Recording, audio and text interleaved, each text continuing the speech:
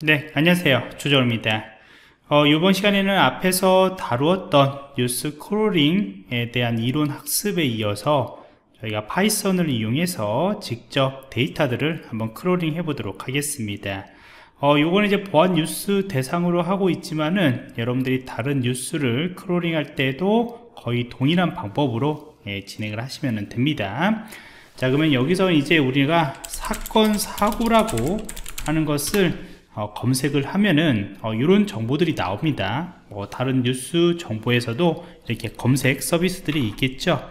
그 다음에 여기에서 이제 전체 뉴스 검색 결과를 보시면은 이제 사건 사고하고 관련된 그 검색 결과에 많은 정보들이 어, 이렇게 어, 제목과 함께 나온 것을 볼 수가 있습니다.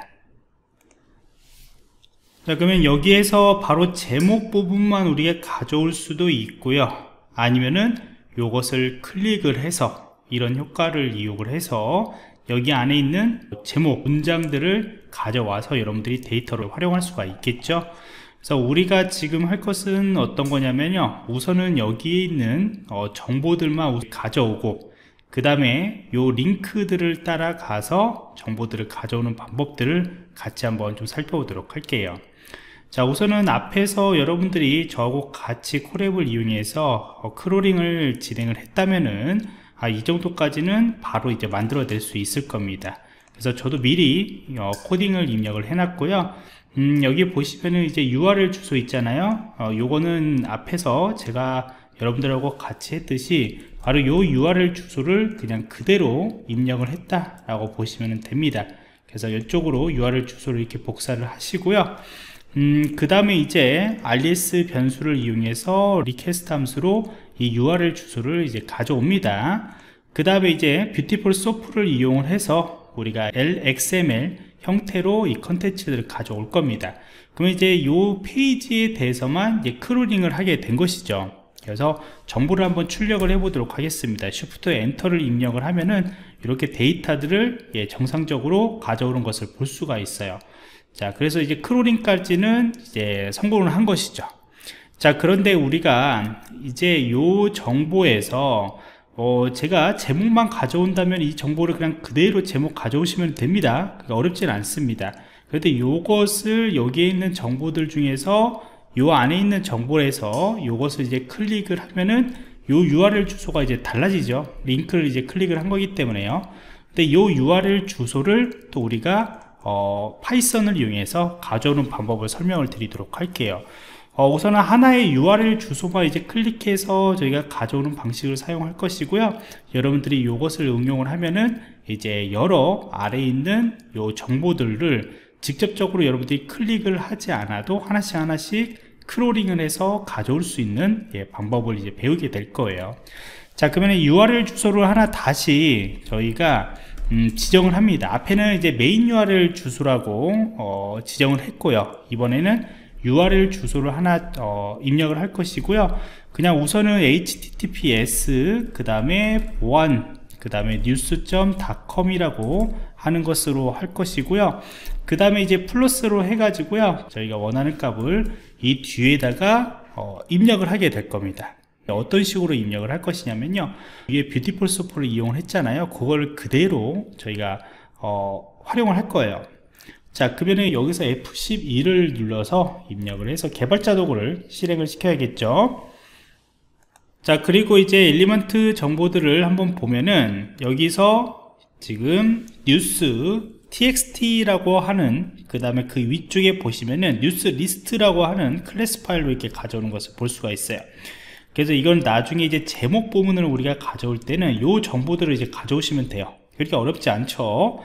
근데 이제 우리가 여기에 있는 이 경로들을 한번 이렇게 클릭을 하고 다음에 또 다른 거 정보들을 올리면은 다음 것을 또 얘가 찾아서 이제 클릭을 해야죠.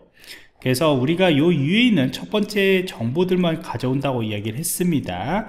자 그러면은 우리가 클래스 파일은 뉴스 리스트 안에 들어가는 것이고요. 그 다음에 href 그 링크 파일을 저희가 이제 가져오게 되는 것이죠. 어, 이것을 순서대로 앞에서 배웠던 이 find라고 하는 것을 이용해서 가져오게 될 겁니다. 그래서 soup 그 다음에 이제 하나만 우선을 가져온다고 얘기를 했죠. 그래서 find 그 다음에 클래스가 그 다음에 underbar죠. 클래스 underbar 뉴스 그 다음에 리스트 정보들을 저희가 가져오게 될 거고요. 요 정보들을 가져오게 되면은 바로 요 여기에 있는 요거 정보들을 다 가져오게 되는 것이죠. 예, 그렇기 때문에 여기서 이제 필요한 것들을 또 어, 가져와야겠죠. 그래서 find a라고 하는 것으로 이렇게 활용을 하시면 됩니다. 그 다음에 get이라고 해서 href 정보들을 가져오시면 됩니다. 자 그러면 여러분들이 이제 어떻게 가져오냐면요. 이 뒤에 있는 이제 soft라고 하는 어, 함수를 이용을 했기 때문에 이 뒤에 것을 이제 찾아서 얘가 자동으로 찾아서 여러분들한테 가져오시게 될, 가져오게 될 겁니다. 자 그러면은 URL 주소만 우선 우리가 한번 프린터를 한번 해보도록 할게요. 자 그러면 제대로 정상적으로 이렇게 가져오는 것을 볼 수가 있겠죠 요 링크 정보가 바로 요것을 예, 요것을 클릭했을 때 그 링크 정보 위하고 동일하다는 것을 이제 볼 수가 있습니다. 그러면 요거 자체가 바로 이제 클릭을 한 거하고 동일하다고 보시면 돼요. 우리가 crawling을 할 때는 그 메인 페이지 하나만 가져오는 것이 아니고 링크가 되어 있는 것들은 이런 식으로 하위 디렉터리를 링크들을 찾으면서 가져오시면은 이제 그 뒤에 있는 여러 트리 형식으로 여러분들이 링크 되어 있는 것들을 하나씩 하나씩 다 방문을 하면서 crawling을 하게 되는 것이죠. 자 그리고 요것을 그러면 이제 사용을 해야겠죠? 그래서 소프 그 다음에 res라고 하는 어, response 값을 우리가 request 해가지고 응답 값들을 이제 가져오게 되는 것이고요. 그 다음에 이제 request 한 것을 get url 예, 주소를 예, 가져오게 될 것이고요. header 정보는 여러분들이 어, 포함을 해도 되고 포함을 하지 않아도 됩니다 그래서 soup이라고 하는 명령어를 이용해서 저희가 beautiful soup 그 다음에 alias의 컨텐츠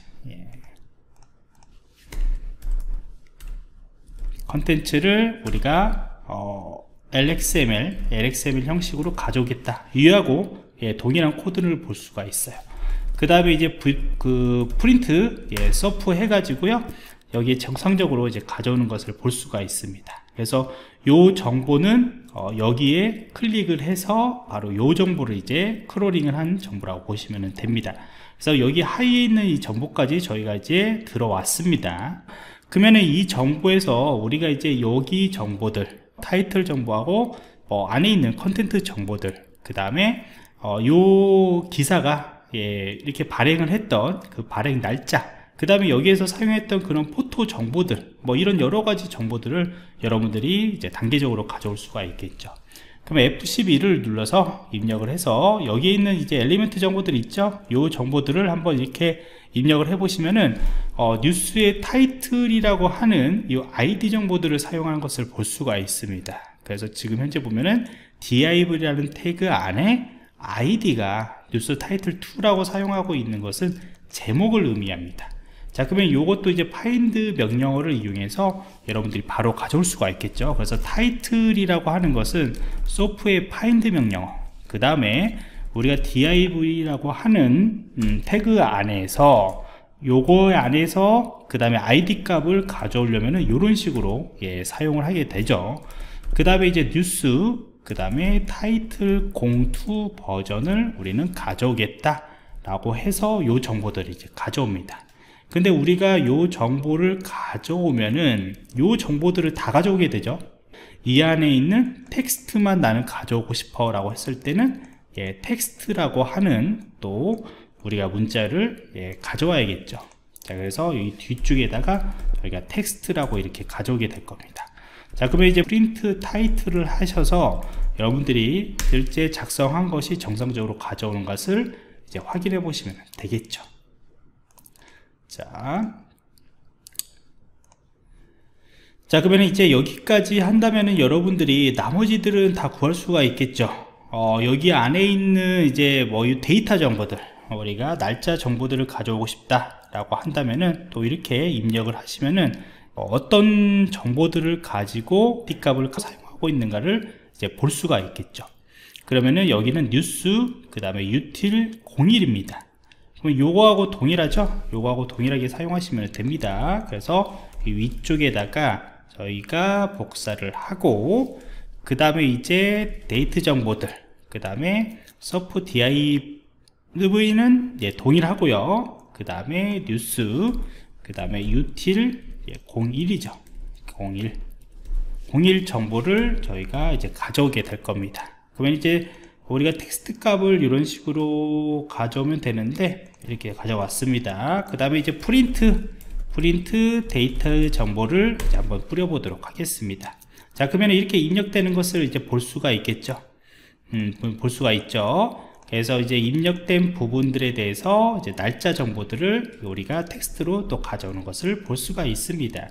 자 그런데 우리가 이렇게 보면은 지금 현재 보면은 이게 쭉 보면 뭔가 공백이 있는 것처럼 이게 느껴지죠. 위에는 이제 잘 나왔는데 아래의 정보들을 보니까 뭔가 이제 띄어쓰기도 있는 것 같고 뭔가 왼쪽으로 좀 붙이고 싶고 이렇게 좀 하고 싶어요.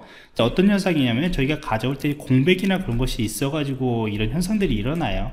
그래서 이 strip이라고 하는 함수를 이용해 가지고 다시 한번 이렇게 가져오시면은 이렇게 앞쪽에 딱 붙여서 이제 띄어쓰기 없이 공백이 없이 저희가 가져오는 것을 볼 수가 있습니다. 그래서 요 텍스트 정보들을 가져올 때 뭔가 좀 이상하다 뭔가 좀 이렇게 막 계속 뭐 이게 분리되어 있고 막 여기 오른쪽에 있고 막 그렇다 그러면 앞에 공백이 있는 거기 때문에 strip이라는 함수를 같이 사용하시면 됩니다. 그래서 일반적으로 이제 여러분들이 그냥 다 strip으로 이렇게 사용하는 경우들도 있어요. 예, 다 사용해 가지고요. 어, 보면 이제 여기 같은 경우에는 아까 이제 결과하고 동일하죠. 네, 그런데 아래는 이런 식으로 표현이 되죠. 그래서 붙여주실 때는 뭐 붙여줘도 되는데 어떤 경우에는 그냥 다 그냥 예, 붙여주는 경우들도 있고 합니다. 그래서 여러분들 어떻게 코딩 하냐는 여러분들 결정을 해주시면 됩니다. 자 그래서 이렇게 저희가 하나씩 하나씩 데이터들을 이제 링크 메인 페이지에서 링크를 해서 클릭을 해서 여기 안에 있는 정보들을 저희가 하나씩 하나씩 다 가져오는 것까지 한번 진행을 했습니다. 그래서 요거를 이제 여러분들이 find만 사용한 것이 아니고 이제 find underbar all을 함수라는 것을 사용하셔도 되고요.